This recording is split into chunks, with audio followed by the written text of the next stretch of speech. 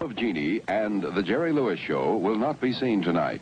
Instead, the following very, very special program is brought to you in lively black and white on NBC.